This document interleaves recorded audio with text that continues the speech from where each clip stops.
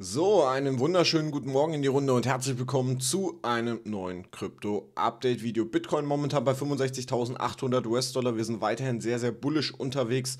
Heißt, wir haben ein neues Hoch mittlerweile, beziehungsweise ein neues Zwischenhoch. Wir haben die 65.000 US-Dollar-Marke durchbrochen. Wir haben das Golden Pocket, das heißt von unserem Zwischenhoch hier oben bei 72.000 bis zu unserem Tief gezogen. Die 53k haben wir jetzt das Golden Pocket erreicht und ja, sind jetzt auch durchdrungen, beziehungsweise strugglen hier leicht. Ich habe dazu gestern schon ein kleines Update gemacht, deswegen gestern gab es kein Video, weil es sich aber auch ehrlich gesagt nicht gelohnt hätte, weil einfach zu wenig Bewegung drin war.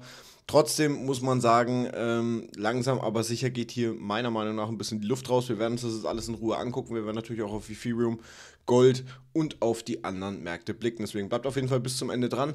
Bevor wir jedoch starten, lasst dem Video gerne ein Like da, abonniert den Kanal, wenn ihr es noch nicht gemacht habt und natürlich gerne in die kostenlose Telegram, Talk und Signalgruppe reinschauen. Wenn ihr Bock habt auf Updates, News und Signale, kommt da gerne rein. Den Link dazu findet ihr kostenlos unten in der Videobeschreibung. Und wenn ihr das traden wollt, was wir hier alles besprechen, kann ich euch nur meine Börse BingX empfehlen. Dort gibt es auch momentan wieder ordentlich Boni abzustauben. Außerdem müsst ihr einfach nur eure User-ID unten in die Kommentare schreiben, beziehungsweise in Telegram, um am wöchentlichen Gewinnspiel teilzunehmen. So, damit aber genug Werbung. Wir gehen rein in den Chart. Wie gesagt, 65.800 US-Dollar circa.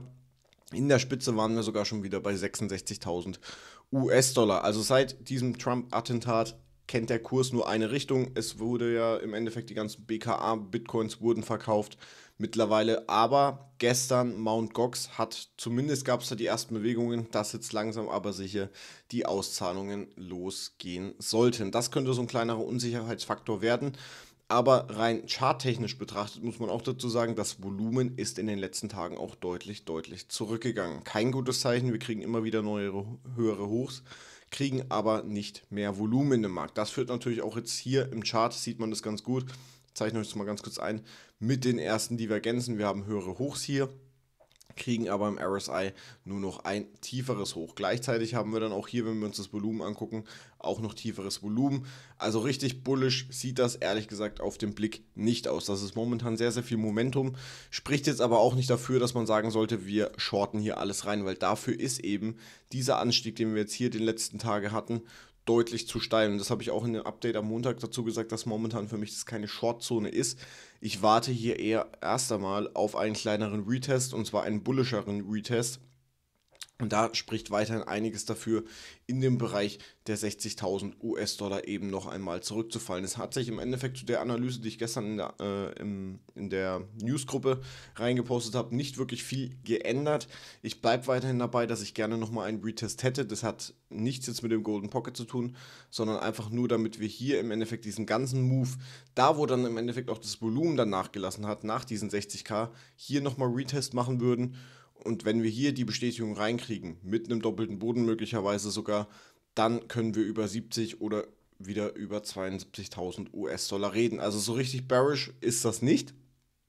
Nur wenn wir durch die 60.000 US-Dollar brechen sollten, dann sieht das ganze Spiel wieder anders aus und dann müssen wir uns auch wieder hier über die 50 bzw. 48.000 US-Dollar unterhalten. Momentan sieht das alles noch gut, relativ gut aus, aber ich möchte gerne hier diesen Preisbereich, ich mache mal hier das Golden Pocket ganz kurz weg, beziehungsweise hier das kleine Golden Pocket auch erst einmal weg.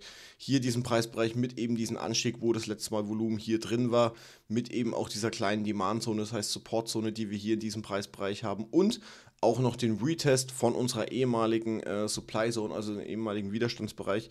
Wenn wir diesen geretestet haben und dieser wirklich standhält, wäre das wirklich ein Zeichen dafür, okay, hier könnten wir nochmal eine Long-Position aufbauen und dann wirklich mit Schmackes in Richtung 72.000 US-Dollar durchstarten.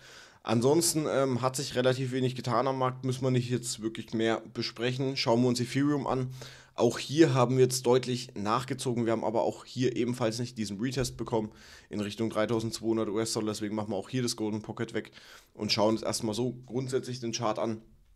Ziel absolut erreicht, die 3500 US-Dollar leider, wie gesagt, ohne die Retest, ohne die Long-Position.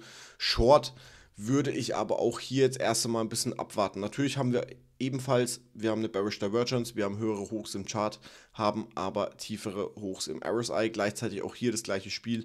Wir haben deutlich abnehmendes Handelsvolumen. Also wirklich bullish ist das derzeit einfach nicht oder beziehungsweise sieht nicht wirklich bullish aus.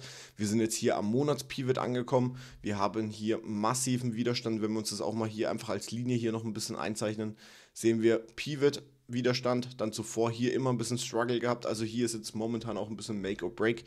Decision Time würde aber eben auch das gleiche Spiel wie bei Bitcoin passen, dass wir auch hier nochmal einen Rücksetzer sehen und auch hier liegt das Golden Pocket genau da, wo im Endeffekt das Volumen dann wieder nachgelassen hat, wo wir nochmal einen Retest erwarten würden. Das heißt für mich auch hier sollten wir im Laufe des Tages so langsam bearische Anzeichen kriegen. Das heißt, ob es jetzt news-technisch ist, ob es charttechnisch ist, dass wir noch weniger Handelsvolumen reinkriegen, oder sich noch mehr Divergenzen auch auf kleineren Timeframes bilden, wäre es eine Möglichkeit, hier nochmal einen Short zu machen. Für mich aber primär eher die Chance, hier unten bei 3222 bzw. 3200 US-Dollar die Long zu triggern, um dann möglicherweise hier in Richtung 3800 US-Dollar vorzustoßen, weil hier oben dann im Endeffekt die nächste Supply Zone auf uns wartet und auch hier oben noch die Ineffizienz. Also momentan alles deutet zumindest nach jetzigem Stand darauf hin, dass wir nochmal einen kleinen Rücksetzer kriegen. Ist nicht ultra bearish, Rücksetzer, alles positiv.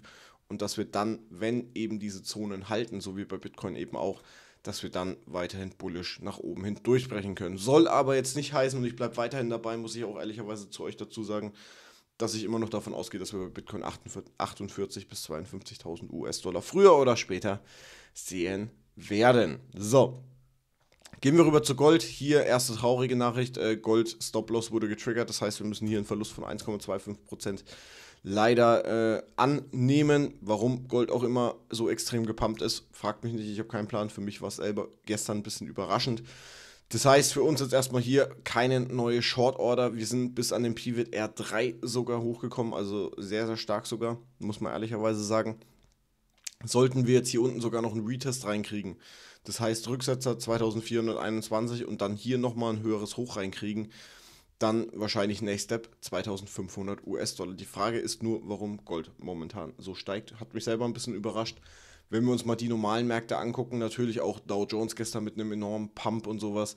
SP 500 langsam am Limit. Da haben wir ja sowieso unsere aufsteigenden Trendkanal, der so langsam aber sicher hier äh, an seine Grenzen kommt eventuell die erste kleine Prognose vielleicht bei Gold, dass wir vielleicht an den Aktienmärkten doch nochmal eine größere Korrektur se sehen. Who knows? Auf jeden Fall ähm, äh, Short-Position hier erst einmal ausgestoppt. Warten wir hier erstmal Seitenlinie ab. DAX-Position sieht derzeit noch relativ gut eigentlich aus, aber hier überlege ich sogar, ähm, ja, diese vorzeitig sogar zu schließen. Muss ich mal gucken, so die nächsten Stunden, weil momentan gefällt mir das gar nicht. Wir hatten zwar hier eigentlich einen perfekten Hit, wir sind sogar ein bisschen über dem Pivot, das ist alles nicht so schlimm. Aber die Reaktion danach ist jetzt nicht unbedingt das Wunschszenario, wo ich mir jetzt ehrlich gesagt gewünscht habe.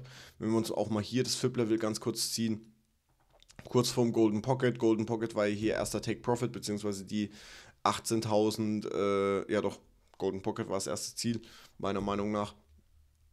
Haben wir noch nicht mal erreicht. Eventuell werde ich die Position vorzeitig noch schließen same oder gleiches Spiel beim Euro gegenüber dem US-Dollar.